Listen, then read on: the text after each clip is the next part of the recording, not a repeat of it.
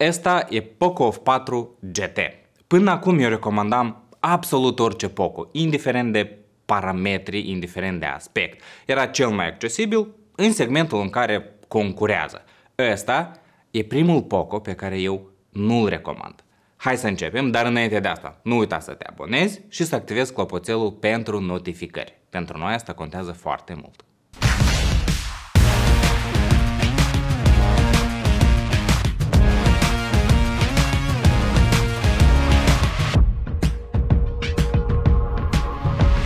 Așteptările de la F4 erau exact aceleași ca și de la F1, 2, 3, adică perfect tehnic, dar preț mic.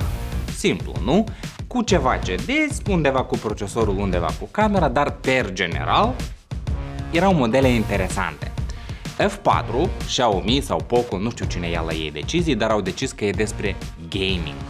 Ok, de gaming am zis eu, dar ce obțin eu din el și nu obțin dintr-un smartphone clasic de top? Pentru că asta costă exact cât un smartphone clasic de top. Iată, astăzi eu cu mine mai am și 12 Pro și OnePlus 10 Pro, toate trei cu exact același procesor și vom încerca să înțelegem ce obții dacă alegi un smartphone de gaming în locul unui clasic. Nimic.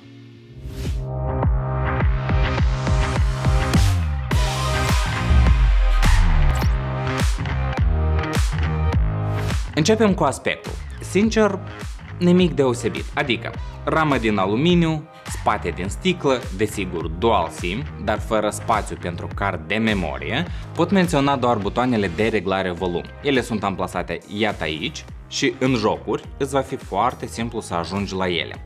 Dar iată port pentru căști, nu avem, dar eu cred că el este aici binevenit, pentru că dacă vei folosi oricare alte căști wireless decât cele Xiaomi, vei avea întârziere de sunet. Dar eu iată de exemplu căști Xiaomi nu am, eu am 7 perechi de căști wireless, numai nu Xiaomi. Acum despre diferențele constructive față de un smartphone clasic. Pe lateral ai un microfon în plus, e al treilea pe acest telefon. Sincer, nu am văzut tare sensul, dar recunosc. 3-4 ore de Call of Duty Mobile pe săptămână probabil nu-mi permit să înțeleg adevărata lui valoare, dar ok, e mai bine cu el decât fără el și desigur aceste două triggere magnetice. La ele eu am să revin, dar acum îți zic despre sunet. Apropo, încărcare wireless nu este, păcat dacă sincer, și desigur protecția de apă și praf tot nu este. Păcat de două ori. Despre sunet. Superb sunet de fapt, e unul dintre cele mai bune sunete din telefoanele mobile pe care eu l-am auzit vreodată. Sunt patru difuzoare, două cu frecvență înaltă, două cu frecvență joasă și iată eu aș putea spune acum că uite, asta e diferența pe care eu o căutam. Dar nu, pentru că 12 Pro are exact același sunet. Da, e un sunet perfect, dar nu pot spune că e specific doar unui smartphone de gaming. Despre display. Eu am să menționez acum doar nivelul maxim de luminozitate. Doar 800 de niți.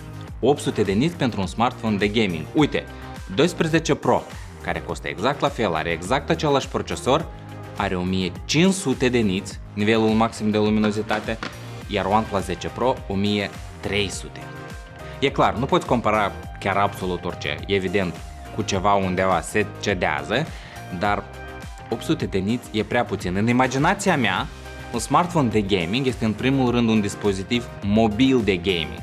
Adică eu joc jocuri acolo unde vreau eu, nu doar unde este umbră și eu văd perfect. La soare, eu mă concentrez prea tare ca să înțeleg ce se întâmplă, dar mie asta nu-mi place. În rest, nu am absolut nicio întrebare la el. Nu este curbat, este bine optimizat, dar cel mai important iarăși, nu e cu nimic diferit față de un display pe un smartphone de top clasic. Am ajuns și la performanță. Uite, acum vei zice că aici e diferența. Uite, aici tu vei câștiga. Hai să vedem. Snapdragon 8 Gen 1 e la bord, cu 8 sau 12 GB memorie operativă, desigur eu îl am pe cel cu 12 GB, exact atât are și 12 Pro și OnePlus 10 Pro. În cifre e așa, evident cifrele pe noi nu ne interesează, vreau să vă arăt doar diferența dintre ele. Și din câte vezi, nu e în mare avantaj acest Poco. Dar trecem la problema noastră. Eu am zis și în episodul cu Xiaomi 12 Pro că Problema principală a celor telefoane care au Snapdragon 8 Gen 1 la bord este throttling-ul. Potențialul său maxim îți ajunge pentru 30-40 de minute. După după e dezastru. Da, tu poți continua jocul, da, evident, nu e problema anume acestui telefon sau a celor de la Poco, e problema însăși a procesorului. Tu poți continua jocul, dar deja nu este atât de comod să o faci.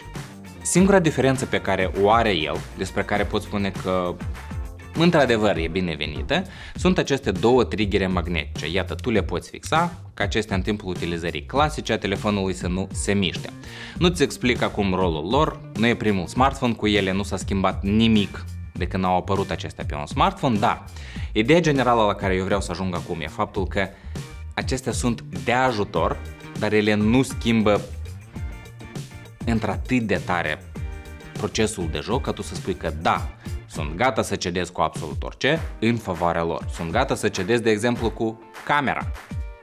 Nu pot spune că i-au atras mare atenție, adică nu s-au complicat să optimizeze această cameră, cel puțin la nivelul 12 Pro, care, reamintesc, costă exact la fel, ok, un pic totuși mai mult, dar sau probabil eu ceva nu știu și cei de la Xiaomi au creat o diferență artificială între aceste două, ca cumva să argumenteze de ce să cumperi 12 Pro. Dar uite, în regimul clasic, aici ai 64 de megapixeli, aici ai 50.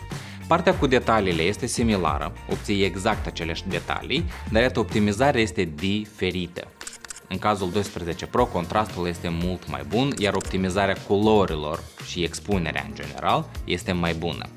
Dar astea sunt singurele vești bune, pentru că, uite, numără, zoom optic, altă dată, senzor cu unghi larg, ok, mulțumește-te doar cu 8 megapixeli. Orice smartphone clasic de top în segmentul ăsta de preț începe discuția de la 12 megapixeli, dar de regulă e peste 32 de megapixeli. Rezultatele, sincer, nici nu vreau să le comentez, pentru că acestea sunt tipice pentru un smartphone de 400-500 de euro. Dar el costă 800. Dar iată, cu autonomia stăm bine. 3 ore de Call of Duty Mobile cu prietenii mi l-au descărcat doar 20%. În mediu, dacă îl vei utiliza ca un smartphone clasic, îți va ajunge pentru o zi de dimineață până seara, dar în cutia ai un încărcător de 120W care dacă activezi acel regim de încărcare rapidă îl va încărca în 17 minute, dacă îl dezactivezi în aproximativ 40 de minute, dar nu uita, acesta încinge și mai tare telefonul și în timpul jocurilor, eu am încercat asta deja, devine încă mai incomod să o utilizeze. Și acum concluzii. Se pare că cei din Xiaomi au înțeles că Poco tot lor le face concurență, pentru că de ce se cumpere un 12 Pro dacă poți cumpăra un Poco F4 sau în cazul nostru nu e atât de actual, de ce să cumperi un Xiaomi 11 dacă poți cumpăra un Poco F3? Cred că ai înțeles ideea mea. Da, ca dispozitiv separat, e superb. Aceste triggere magnetice care sunt binevenite în jocuri, performanță destul de bună chiar dacă se încinge, ca dispozitiv separat, e ok.